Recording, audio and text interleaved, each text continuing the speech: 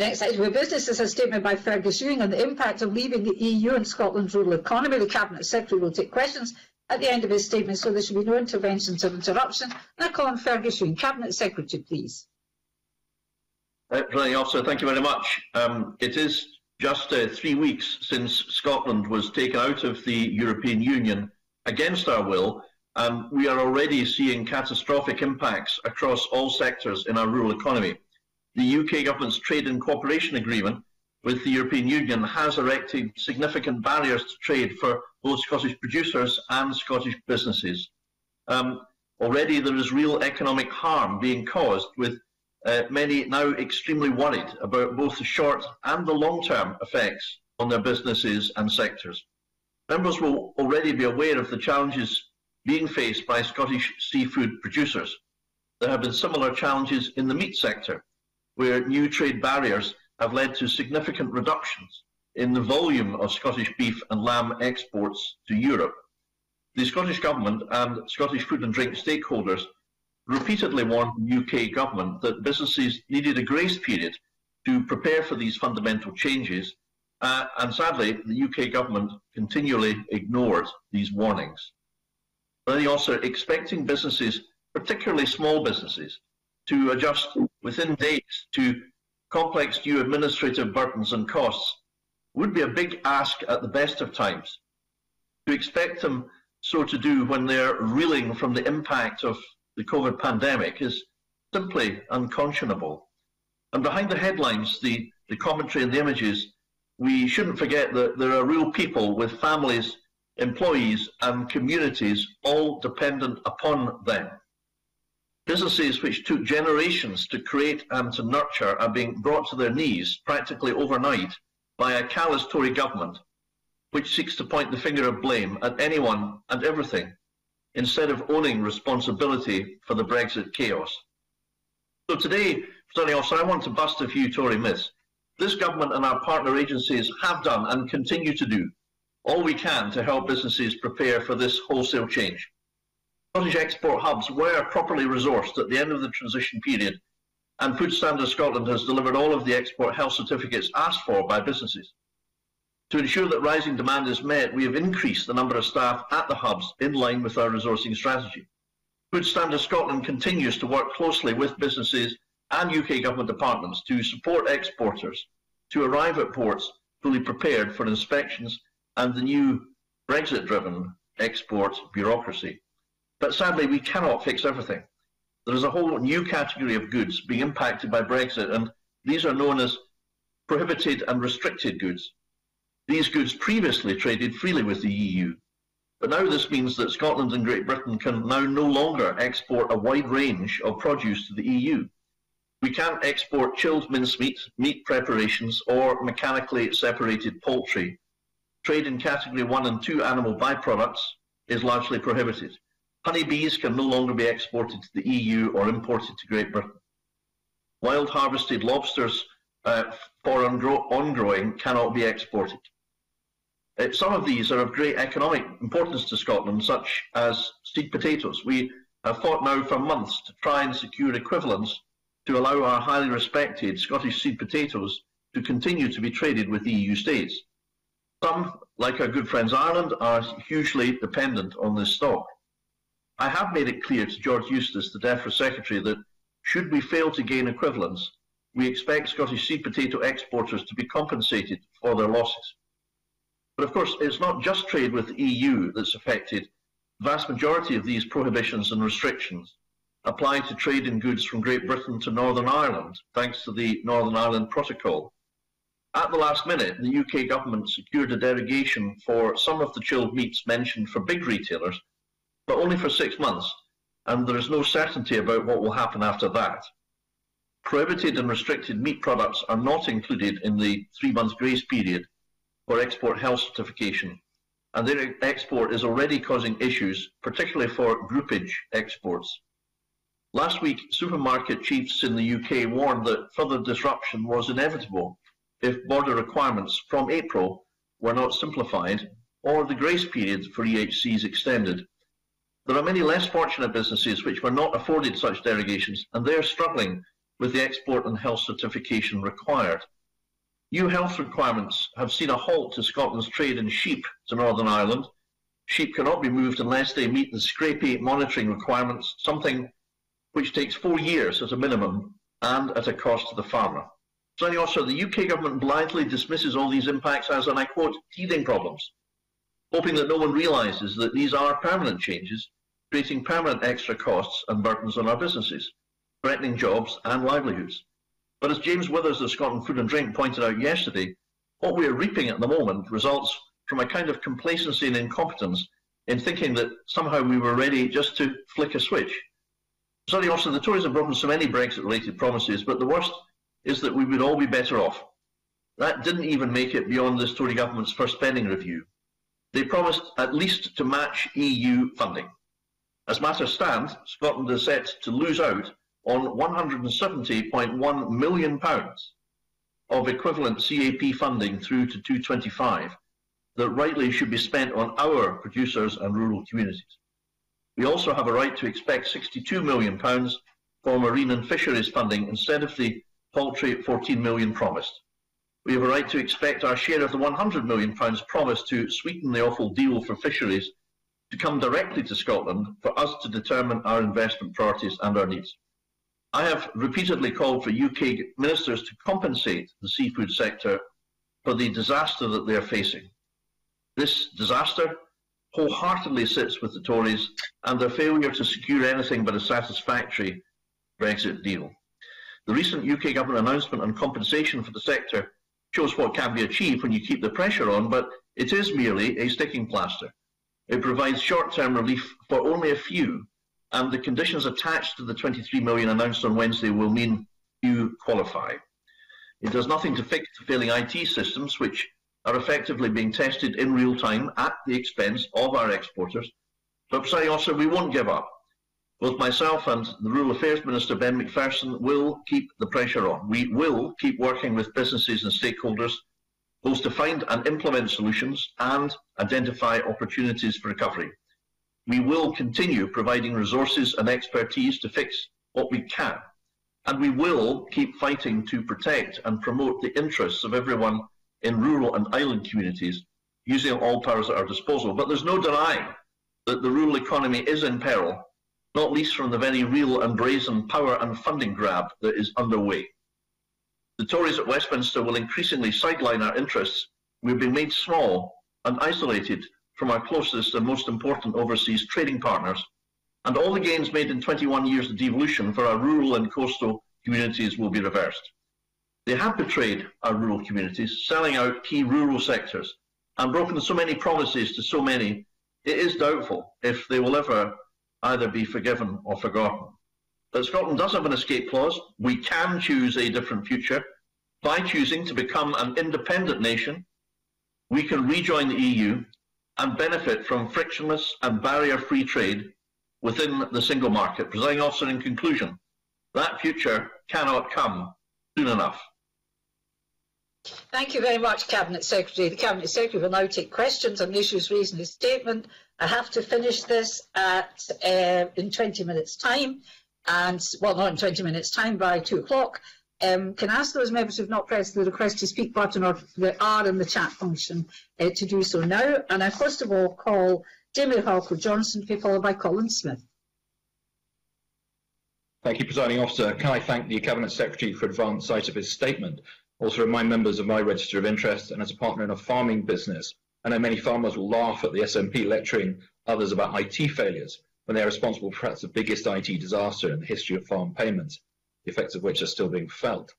But it's another week and another statement from the Cabinet Secretary heavy on politics but light on actual policy. And it was an all too typical rant, so let's get some facts on record.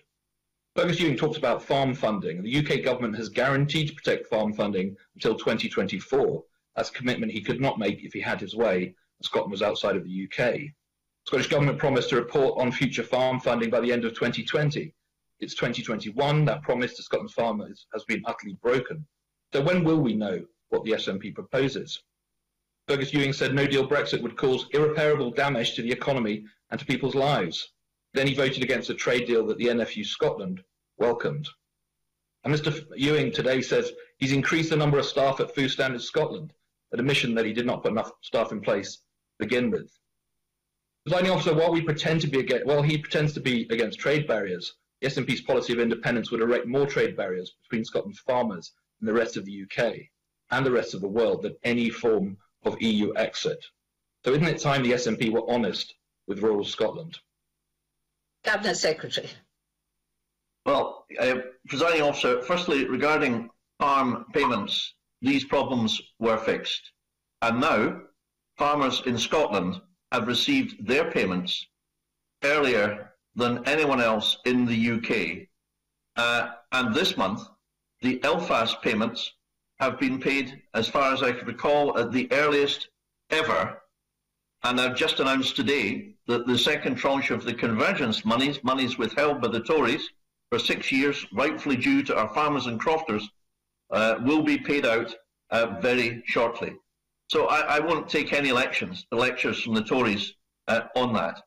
Um, yet again, we find, presiding officer, that nobody in the Scottish Conservatives, and particularly not its rural spokesperson, admits that this is a poor deal for Scotland and for our fishermen. Uh, and the longer they uh, take an approach of let's not mention Brexit and its impacts, frankly, the more self-inflicted damage uh, they will cause. To answer the only question that actually I could identify from the, the statement made by Mr Halcro Johnston, we are being honest about Scotland's future.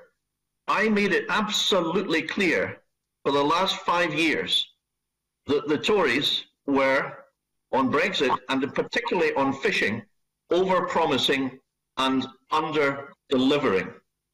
I think it really was the Conservatives who, when they promised that the EU funding would be at least matched, uh, were not being honest or straight with the public. And the fact is that the cuts in the money we would have had in the EU, which amount to £178.1 million for Scotland, are cuts also faced in Wales and Northern Ireland. Not only Scotland, but all the devolved administrations that are making this argument. Also in conclusion, as long as the Scots Tories refuse to face reality, they will be punished by the electorate. Uh, thank you, and I appreciate shorter answers, uh, Cabinet Secretary, as we move along. Colin Smyth, to be followed by Maureen Watt. Thank you, President Officer, and thank you to the Cabinet Secretary for advance sight of his statement. Although farmers and crofters across Scotland will be relieved that a catastrophic no-deal exit from the EU was avoided, there is no such thing as a good deal when it comes to Brexit with extra burdens accessing labour and markets for many produce. The trade deal cobbled together fell short of what was needed and promised and leaves a huge amount of uncertainty. So can the Cabinet Secretary update us on what progress is being made in the development of a set of post-Brexit common frameworks to protect the integrity of the UK-wide single market. The rest of the UK remains by far Scottish agriculture's biggest market and ensuring there's adequate consistency and alignment between our nations is vital. Crucially, does the Cabinet Secretary accept our agricultural sector is crying out for clarity from him on what support schemes will look like post Common Agricultural Policy after 2020 four, the NFUS President Andrew McCornick told the Cabinet Secretary to stop dithering and start delivering. So, Cabinet Secretary, the clock is ticking. Surely by now you can tell our farmers and crofters when they will see the detail of future support mechanisms policy. Cabinet Secretary. Uh, well, sorry, also that wasn't what, what the NFUS President Andrew McCornick told, McCornick told me this week when I spoke to him.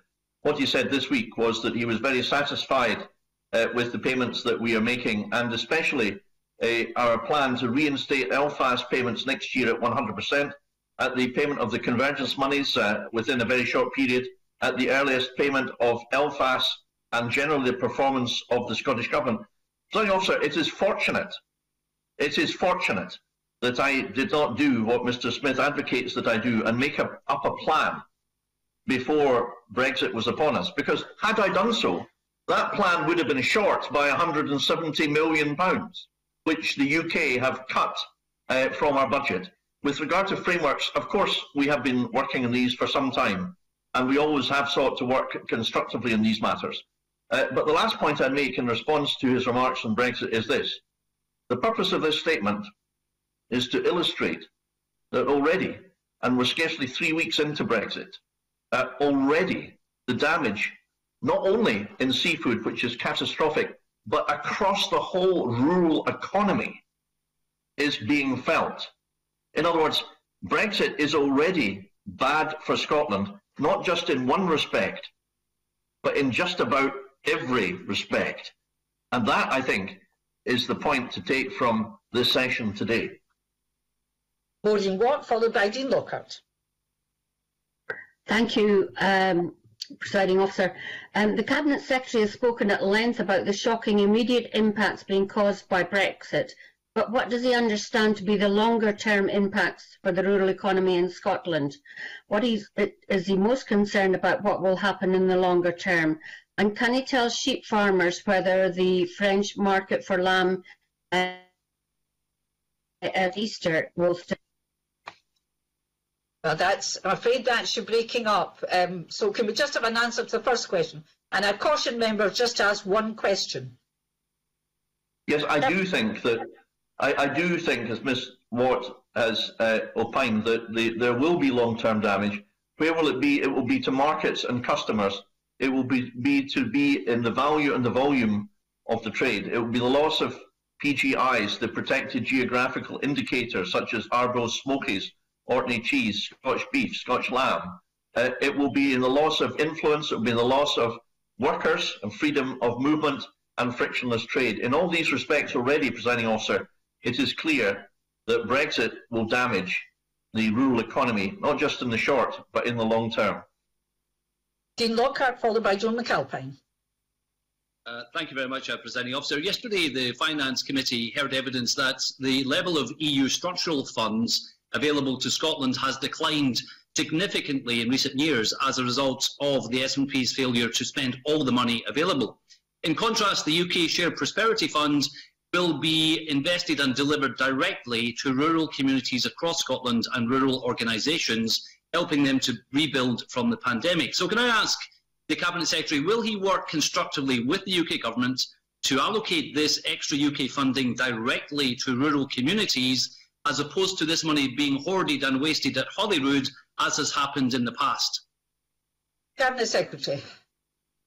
Well, the facts of the matter, Presiding Officer, is that we still don't really know much more about the UK Shared Prosperity Fund than those four words.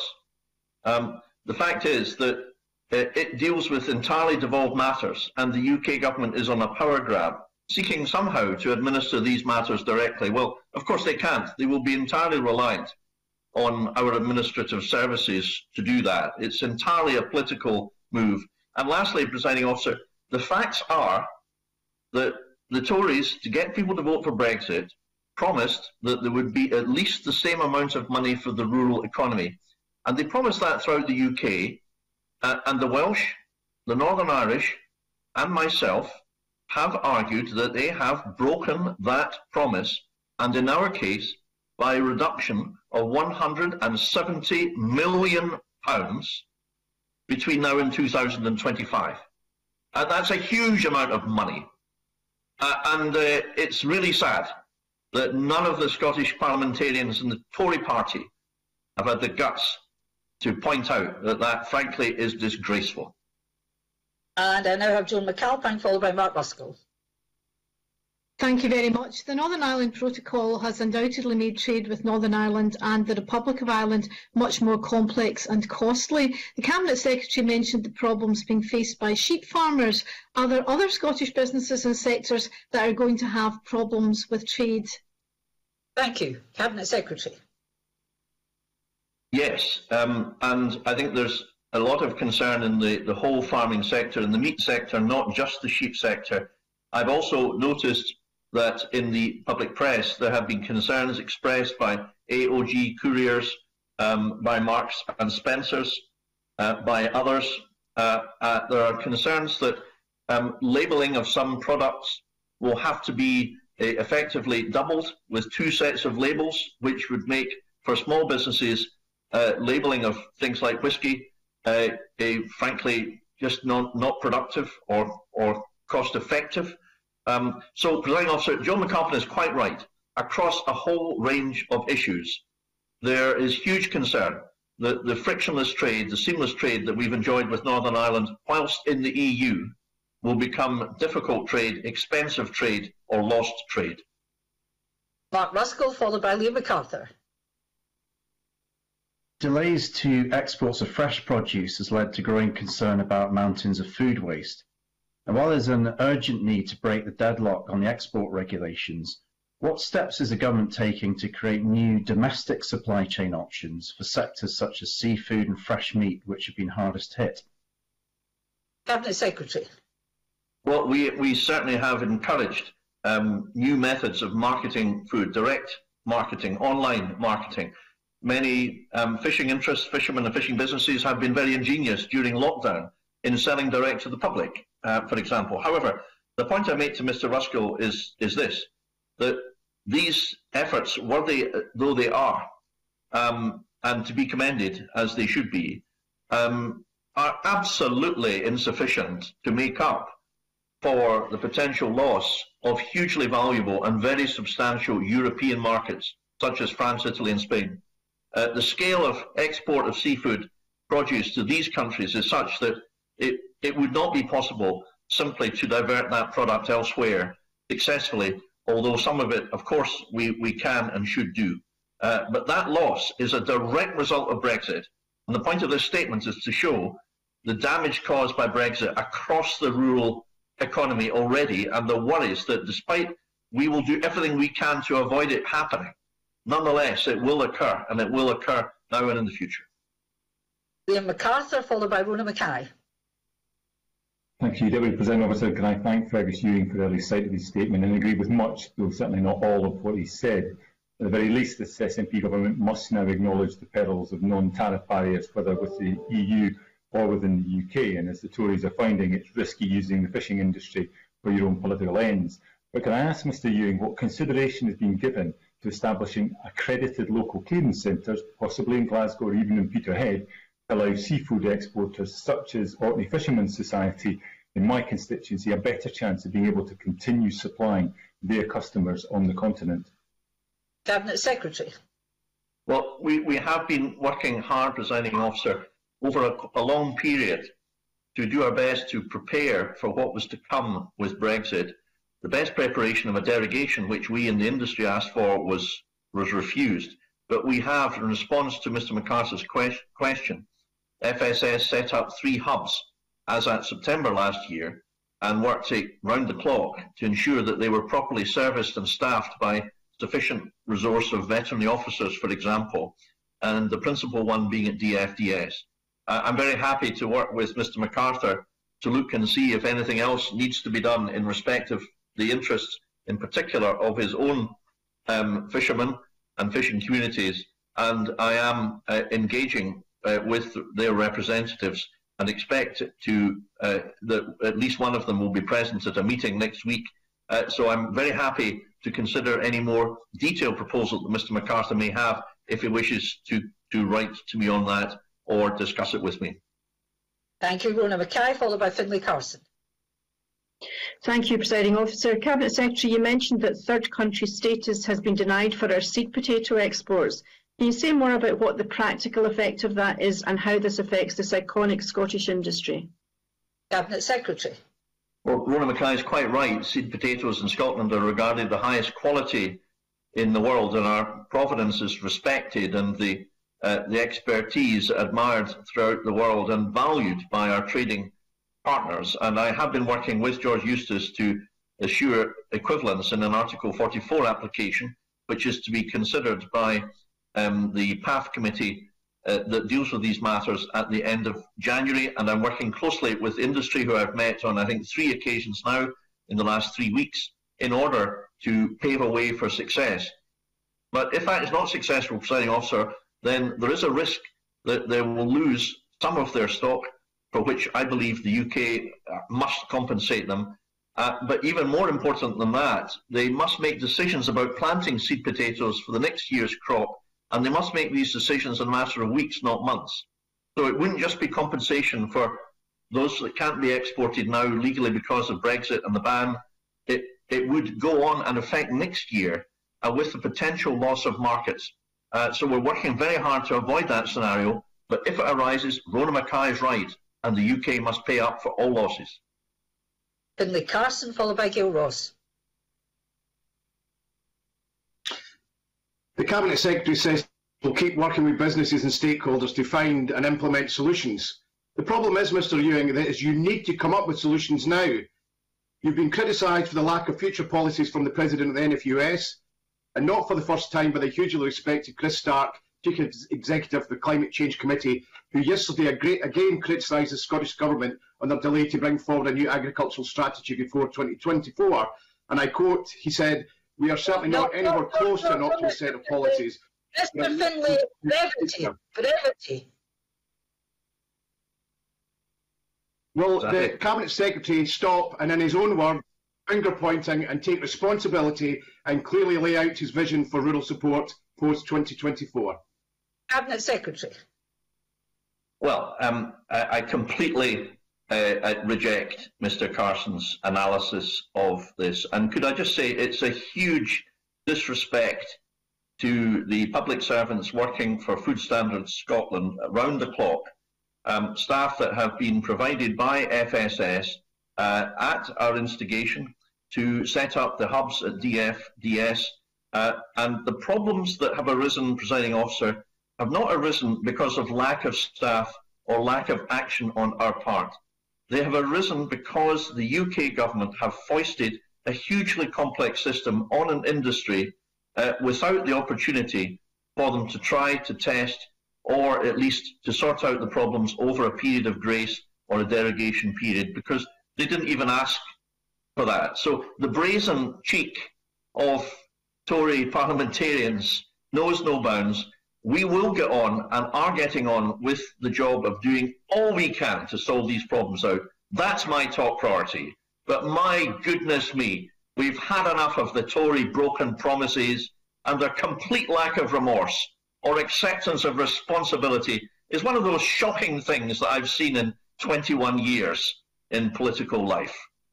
Cabinet Secretary, if I may respectfully ask for a little more brevity from you as well, I can now call Gail Ross and, if possible, Gillian Martin. But Gail Ross.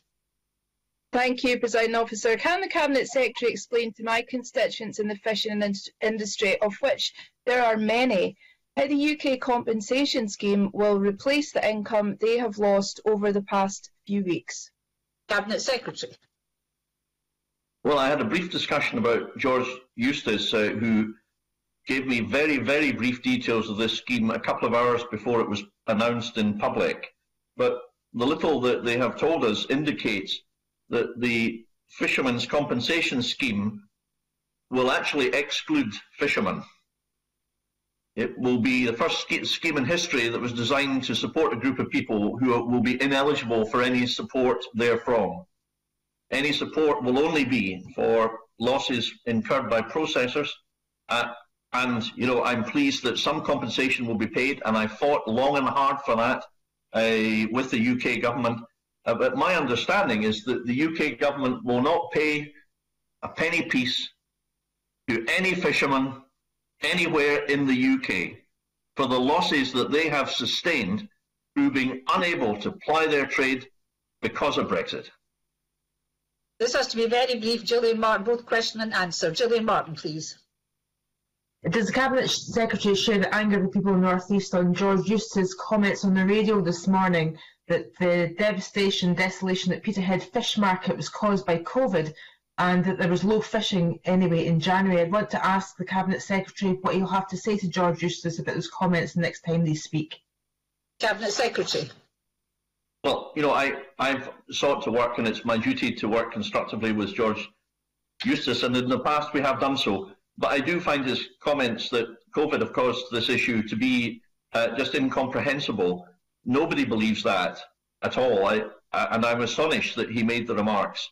I mean, would the Conservatives not just accept responsibility that Brexit just hasn't worked out, that the disruption that Michael Gove said would never happen has actually happened, and that the, the losers have been, at the moment, the seafood uh, community and businesses, but as well uh, starting to affect many other sectors in the rural economy. I think acceptance of responsibility is something that surely uh, we should be expecting from the UK government for their Brexit Burach. Uh, thank you very much. That concludes questions on the statement and uh, you've got a busy day. Cabinet Secretary, you've been at committee, you've been in a statement, now you've got more questions. We now move on to portfolio questions on rural economy and tourism. Question number one, Mary Fee.